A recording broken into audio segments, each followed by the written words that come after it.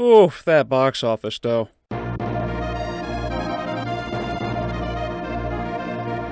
Ridley Scott once again takes another crack at directing to show he's as good as he once was by bringing the real life account of historical events to the silver screen. This time, a retelling of the second to last government sanctioned duel in France. Jean, played by Damon, is a hard headed and honor bound knight who is best friends with Jacques, played by Ben Solo. This friendship reaches a tism once Jean's wife Marguerite publicly claims that Jacques raped her. And since nah uh doesn't work as a defense, Jean's claim for a duel is given blessing by the king. So be prepared to sit through two and a half hours of the same exact story over and over again until we finally get to see what almost no one paid to see. Firstly, the battle sequences are alright. Practical effects dominate this film, helping you feel the power of the armored cavalry or weight of the soldiers smashing each other. However, while they are close up putting you in the action, the camera is in your face like the paparazzi, so you don't see the scope of the battles, which makes the more important camera work feel cheap.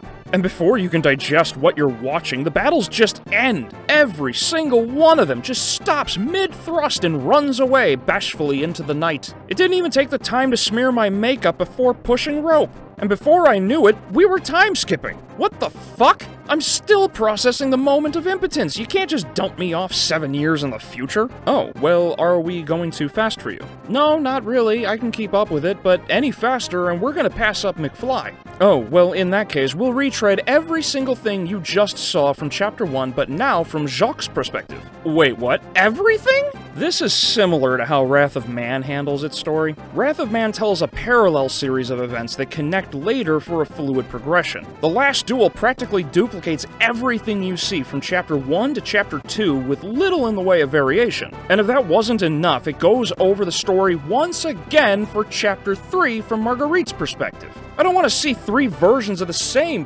fucking party. If anything, showing three perspectives with certain overlap erases the mystery of who was telling the truth. Scott should have taken a page from Spielberg and focused the story on A to B. Keep it simple and straightforward. Instead, it's a convoluted mess that didn't need to be this dense. Maybe that is a little unfair to Scott, since he didn't write this. Not that he's known for being much of a writer, but Damon and Affleck are the ones who wrote it, so if you have some long suppressed nostalgia out of the ham and cheese combo that was these two from the 90s, well, look no further because they're back. Affleck is here for a check like Michael Caine was for Jaws the Revenge. The rest of the actors do give good performances, and the writing is actually pretty solid. This is where I clash with the film hard. Pretty much everything is above average, but never quite great. Case in point, the actors can't do an accent to save their lives, like they took lessons from Elizabeth Olsen, which only compounds the already gloomy mood of the film. Every one and thing is as depressed as the gray filter. Where are the vibrant fields and lush forests of France? This whole movie lacks more color than Castlevania,